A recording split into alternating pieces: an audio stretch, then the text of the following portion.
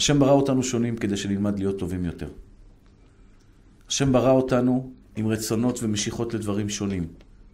האישה אוהבת דברים מסוימים, הגבר אוהב דברים מסוימים.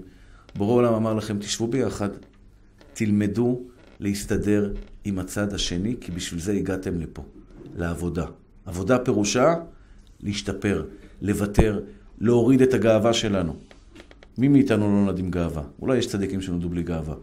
ואז כשאשתך מרימה טון, ויש לה לפעמים בלי כוונה, איזה טון כזה. כן, כן, מה, מה, מה, מה, מה עכשיו? מה אתה רוצה עכשיו? והגאווה שלך נפגעת ואתה אומר, מי היא שתדבר אליי ככה?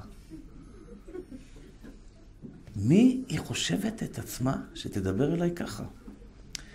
נשמה טהורה שלי, אתה יכול לחשוב כך, אבל אתה עומד לסבול. אתה יודע למה אתה עומד לסבול? כי בשבעים שנים, שנה שתהיו ביחד בעזרת השם לפחות, אתה תשמע את זה הרבה פעמים.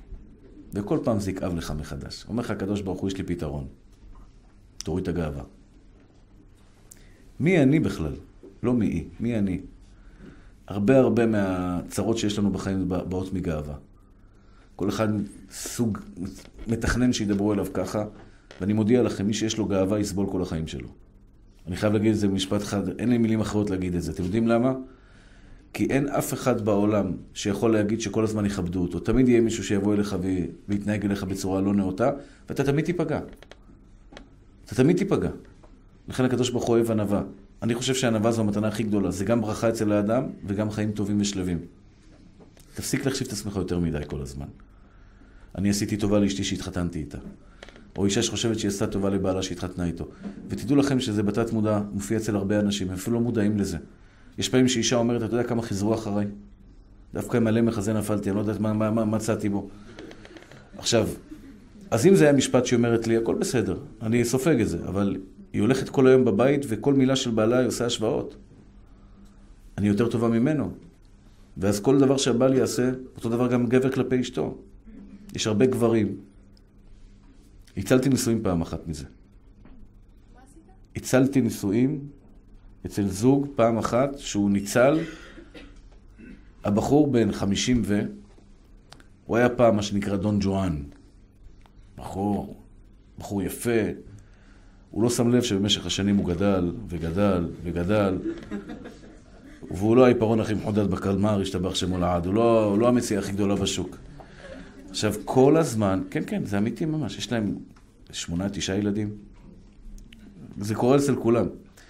והבן אדם חי בסרט, כל פעם שאשתו מרימה, לו, מרימה עליו את הקול, מתחילה מריבה, אומר לי, מה אני צריך את זה? אני עוזב את הבית.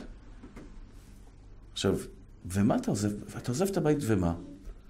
בדמיון שלו, הוא מדמיין שהנה ביום שהוא מתגרש מאשתו, השטחניות בשכונה שלו, הטלפונים קורסים. כל בנות ישראל שישמעו שהבחור המוכשר והיפהפה הזה והכל כך טוב הזה יצא לשוק הרווקות, וכל כולם, כולם ללא יוצא מן... אין בחורה רווקה כמובן שלא תרצה להתחתן עם היהלום שבכתר. והוא חי בהרגשה שהוא פשוט מאוד, אין כמוהו בעולם. ואז כל פעם שיש מריבה, הוא לא ינסה לתקן. אני בורח. לא מתאים לי. נשמה, אני מכיר את הסרט של אחרי הגירושין גם. אתם יודעים כמה בחורים עשירים, יפים, יושבים הומלסים, תסדר לי רק אחת שתרצה אותי. הוא חי בסרט שבחוץ מחכה לו יותר טוב.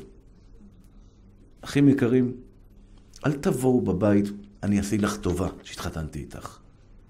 בחיים שלכם אל תבואו בבית לאישה ותגידי, האישה תגיד, אני עשיתי לך טובה שהתחתנתי איתך. לא.